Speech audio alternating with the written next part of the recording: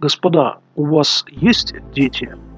Если они у вас есть, то вы знаете, что все дети в мире любят рисовать. Что в основном рисуют дети? Ну, маленькие дети, как правило, рисуют какую-нибудь природу, цветы, животные. Дети постарше в наше время рисуют роботов.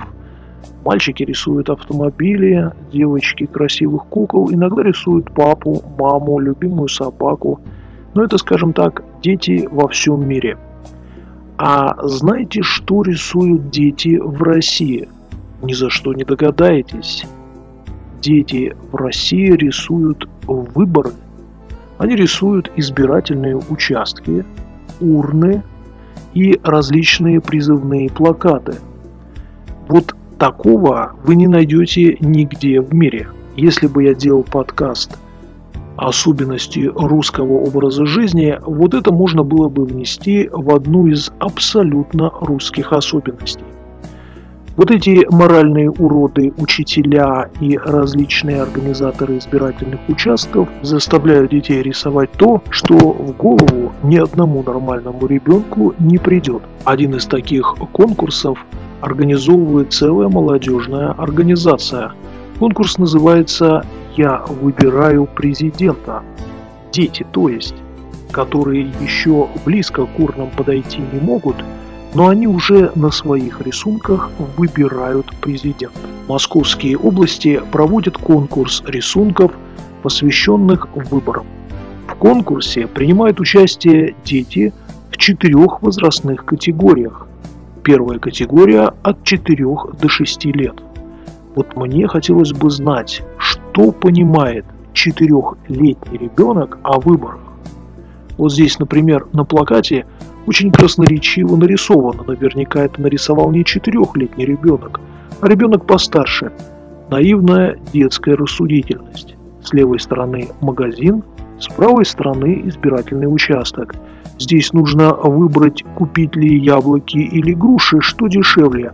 А здесь выбирают Иванова, Петрова или Сидорова. Твой выбор зависит от тебя. Сразу видно, что дети понятия не имеют, что такое выборы. Они делают то, что заставляют их делать взрослые. А знаете, что получают дети, победившие в подобном конкурсе? Я зачитаю цитата. Победители конкурса награждаются дипломами и памятными подарками.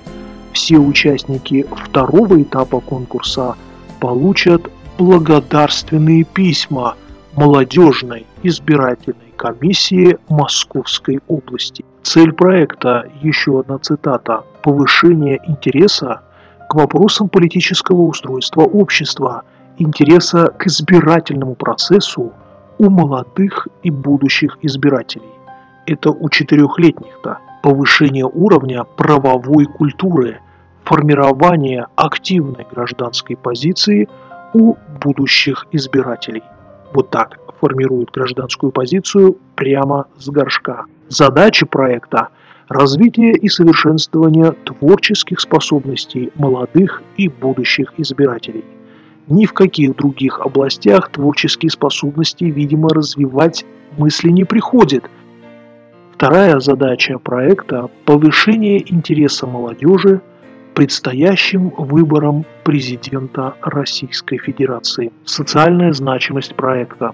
Просто гениальная фраза. Эта фраза в стиле совка, причем я даже думаю, даже в те совковые времена такую бы фразу не придумали.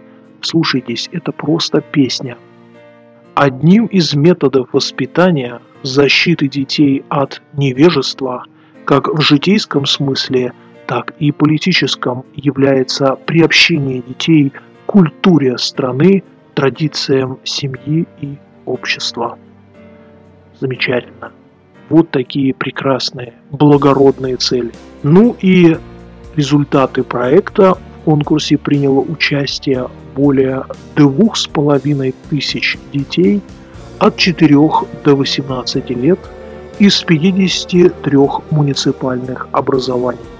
Затраченные ресурсы, памятные подарки, сладости. За благодарственные письма и сладости дети в России рисуют выборы.